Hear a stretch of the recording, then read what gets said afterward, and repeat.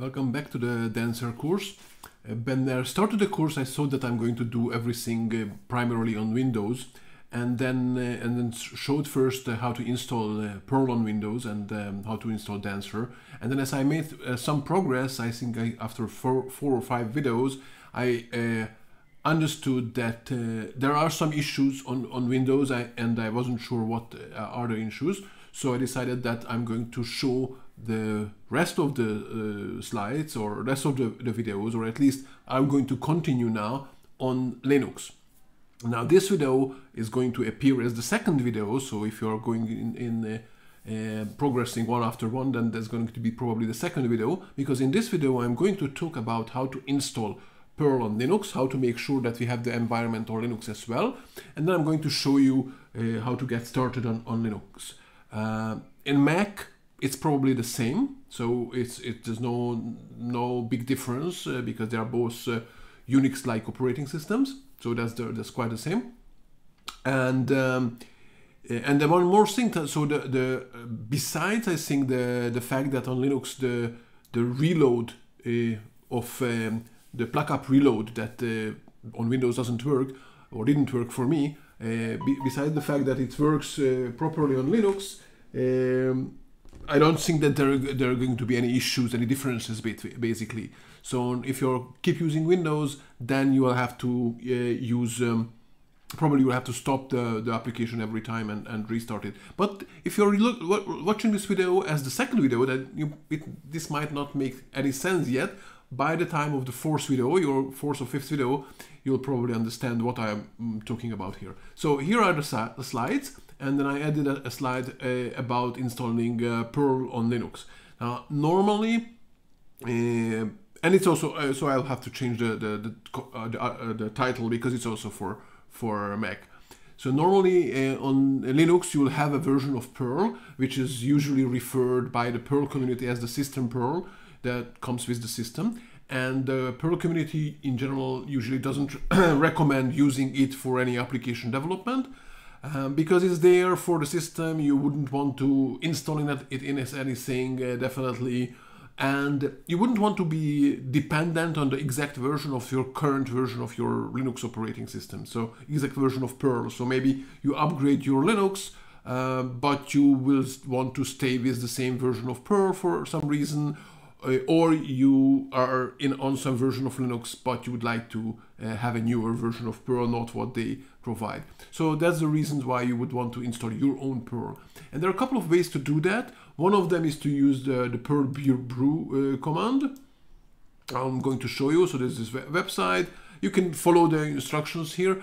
perlbrew is primarily, I think it's primarily good for people who would like to have several versions of Perl maybe several ways configured them and they would like to switch between them quite often.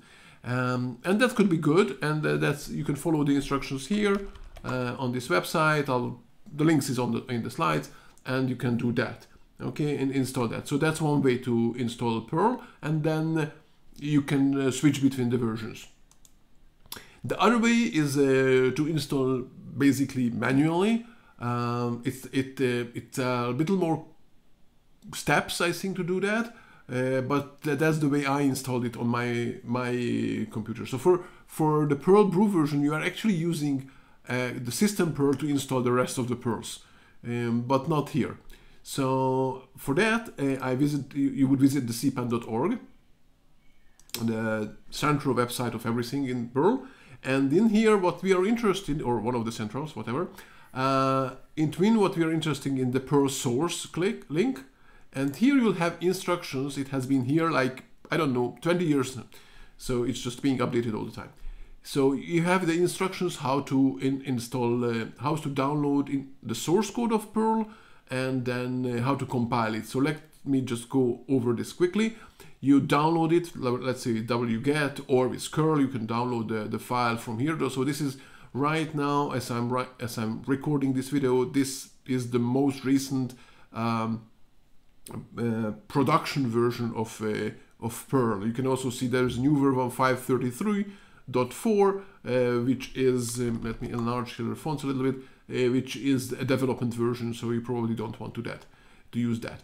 Uh, once you downloaded it, you unzip it with tar, then you cd into the directory that you just created, and then and that's the interesting part. You run inside the directory this dot slash configure um, minus des doesn't really matter. Various uh, options you can give, and here is the critical part: is where you actually tell um, the configure uh, command is where to install Perl. Now this one I wouldn't copy because this says, or well, it depends on you. This is not what I did. Okay, this says that to install it in your home home, home directory slash local Perl. What I did is, let me show you that my command line. So if I run now which Perl, it will say that it's in slash opt beer Perl bin Perl. But actually what, what I have is that in the slash opt directory, I have a directory called Perl 530.1. So this is a, an older version of Perl, slightly older, a year old, or uh, so the previous version of uh, previous stable version of Perl, and I installed it here. So I would put this pass, copy, let me copy, instead of this dollar home something. Of course, for version for 532.0, I would update the number, and then uh, this configures the installation to um, to compile and install later on Perl in that directory. Then I run make. So for this, you will need uh, also the GCC compiler and maybe other stuff. Make test that will run all the unit tests that come with Perl to verify that your compilation on your uh, computer works well. That's nice. These both can take quite a lot. And then run make install. That will install Perl in the directory that you specified in this command. So if you're specifying something in your home in, inside your home directory where you as the regular user uh, has write permission, then this would also work uh, as it is. If on the other hand you do what I did, so uh, uh pro, uh, giving it something like slash opt, slash opt uh, is owned by the root, the root user. So for this you will have to use sudo on this command. So you'll have to write sudo and then make install in order to install it in the right direct, uh, directory. So once you did that, this, this, then what I do, okay, that's up, again up, up to you, is I created in slash, uh, so it's ls minus minus l in case you don't know what ll is here. It's ls minus l. Um, it's just an alias uh, in my uh, shell. So the slash opt perl is actually a symbolic link to this 531. So anything else in my computer can refer to slash opt slash perl. And then when I'm going to replace this with a newer version of Perl, they don't have to know about it. They will just it will just work.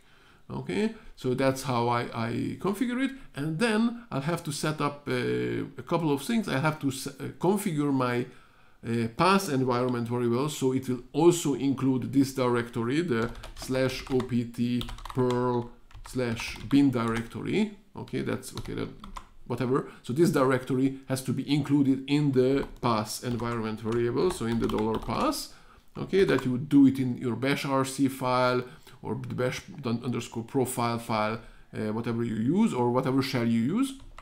And with that, you'll have Perl. So now if, uh, let me go back to, now if I write Perl minus V, it will tell me that this is the right version of Perl, whatever I wanted to install, and then uh, the which Perl, as, as I showed you earlier, it will point you to the, right version of Perl.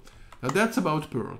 But still you have to install, uh, you need to know how to install now modules. For this, I recommend you install cpan minus also known, known as cpan-m. Now, when you visit the website, don't get uh, frightened because what you can see there is actually the source code only. So you won't see here a nice uh, website or whatever. Is the source code of the uh, command that you have to run. So the way you do this, you download it with this curl and you can directly pipe it into Perl. Okay, assuming that this Perl is already the one that um, you want where you want to uh, install stuff. Um, you can also download it and then run it by yourself. It, it, it all depends on, on, you. You can also go instead of this, you can also go and fetch this from uh, cpan, from MetaCpan. So you could visit MetaCpan pod and it's up cpan minus actually I'll, I'll can put the link there uh, as well so you can download it also from here if the, you prefer that, that, version and install then the, the module and then once you install the cpanm then you will have it uh, let me see where is it for me? Cpanm so for me it's automatically installed in my home directory. So home gabor here in linux. Well this is my home directory in the perl 5 uh, subdirectory. Maybe it asked me i don't even remember anymore. But um, uh, that's the, the second thing. So now i can use cpanm one more thing that's recommended is to install local lib now already with cpanm uh, that will allow make it easy super easy uh, to install everything in uh, this directory. So now every module is going to be installed uh, in this directory. So for that you will also have to configure again uh, add something uh, to your .bash profile in order to make it work. I'll put the actual thing that you have to put there in the in the notes of the course. Uh, but uh, when you run the command, they also tell you that, okay, put this in your configuration file or execute this. Uh, so that's it. That's how you get um, cpanm. And then once you have cpanm, you just type in cpanm and dancer 2 and it will go out and install Dancer 2 okay so for me also okay. Apparently I don't have the most recent version of CPA, of Dancer 2 on this computer. Uh, so it's now installing it. Uh, we won't have to wait for that. It's going to do it. If you're running the tests again uh, as uh, they did it on Windows it's gonna be much faster actually here but anyway we don't wait for it. So that's it. If you need uh, Linux then that's how you can uh, set it up and you can go on and continue with the rest of the course